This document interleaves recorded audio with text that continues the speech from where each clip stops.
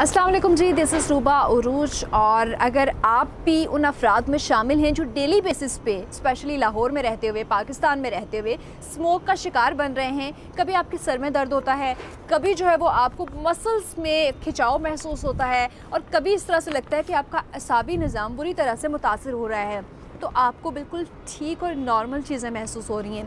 क्योंकि पाकिस्तान जैसे ममालिक, जहाँ पे स्मोक का सीज़न मौजूद है इन्वायरमेंटल जो चेंजिंग्स हैं, उनका सबसे ज़्यादा शिकार होने वाले ममालिक हैं। गो कि हम उन ममालिक में शामिल हैं जो कि पूरी दुनिया में माहौलियाती तब्दीलियों में बहुत ज़्यादा किरदार अदा नहीं कर रहे, कोई नेगेटिव रोल प्ले नहीं कर रहे, लेकिन उसके बावजूद शिकार होने वाले ममालिक में सर फहरिस्त हैं। तो नाजीन अमेरिकन अकेडमी ऑफ़ न्यूरोलॉजी ने एक तहकीक की है। जिस तहकीक के नतज बहुत ही ख़तरनाक हैं, अलर्ट करने वाले हैं। ये तहकीक ये कहती है कि इस वक्त जो माहौल में तब्दीलियाँ हो रही हैं, उसकी डायरेक्ट वजह बन रही है असाबी बीमारियाँ।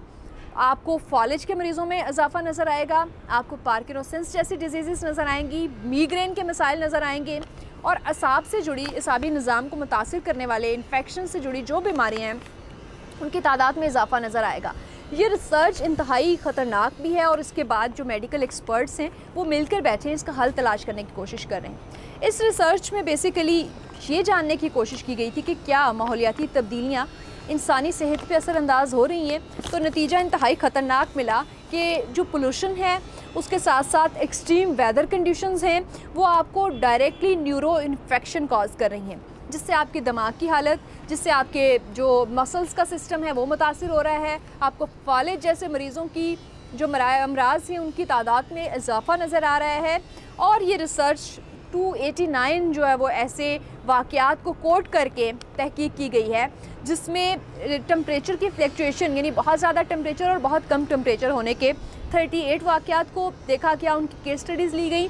और सैंतीस न्यूरो जो इन्फेक्शन के केसेस हैं उनको कंपेयर किया गया। तो रिज़ल्ट के मिला के आपकी हवा में मौजूद जो नाइट्रेट्स हैं, जिसको हम P M two point five factor कहते हैं, वो इंसानी सेहत के लिए, इंसानी साबी निज़ाम के लिए इंतहाई ख़तरनाक हैं। इस रिसर्च के बाद जो हेड ऑफ़ इन्वेस्टिगेशन टीम है डॉक्टर एंड्रियो दहवान उन्होंने ये बताया कि कोशिश ये की जा रही है, माहरीन की जानब से, कि वर्ल्ड टम्परेचर को 2.7 फ़ॉरन हाइट से नीचे रखने की कोशिश की जाए। लेकिन जिस तेज़ी से टम्परेचर में इजाफा हो रहा है ज़मीन के, ये बहुत मुश्किल लग रहा है और ऐसा लग रहा है कि आने वाले 10 से 20 सालों में जो सबसे ख़तरनाक जो अमराज होंगे, उनमें फालिज या फिर असाबी निज़ाम के अमराज शामिल होंगे। नाजिन, ये अलर्ट जारी किया गया इस तहकीक के बाद। मेडिकल एक्सपर्ट्स ने यह राय दी है कि इस पर मज़ीद तहकीक होनी चाहिए। इससे निपटने के लिए इंसानी जो कुत मदाफ़त है, उसको कैसे बेहतर किया जा सकता है? इस पर भी रिसर्च की जा रही है। लेकिन फ़िलहाल जो फौरी मैयर्स हैं, जिनके बारे में बात की गई, ये कहा, ये उसमें ये कहा गया है कि अगर आप उस मुल्क में रहते हैं, जहाँ पर स्मोक या फिर जो माहौलियाती तब्दीलियाँ हैं, उनके असरात बहुत ज़्यादा महसूस किए जा रहे हैं तो आप अपनी लाइफ स्टाइल रूटीन को तब्दील कर लें।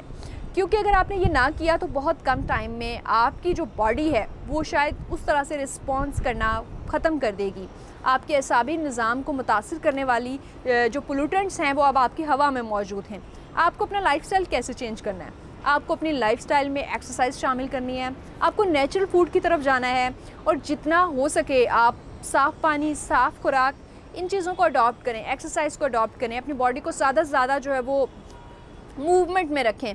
क्योंकि इसी तरीके से आपकी जो बॉडी है नेचर ने एक सिस्टम बनाया हुआ है, वो कुत मदाफ़त डेवलप करता है। जैसे जैसे इन्वायरमेंट तब्दील होता है, लेकिन जिस तेज़ी से इन्वायरमेंटल चेंजिंग्स आ रही हैं, उस तेज़ी से शायद इंसानी जिसम रिस्पॉन्स नहीं कर पा रहा। यही वजह है कि हमें अपने इर्द गिर्द रोज़ ये लोग शिकायत करते नज़र आ रहे हैं कि मीग्रेन का मसला है, असाबी खिंचाव का मसला है। बहुत से लोग without any reason young age में कॉलेज का शिकार हो जाते हैं।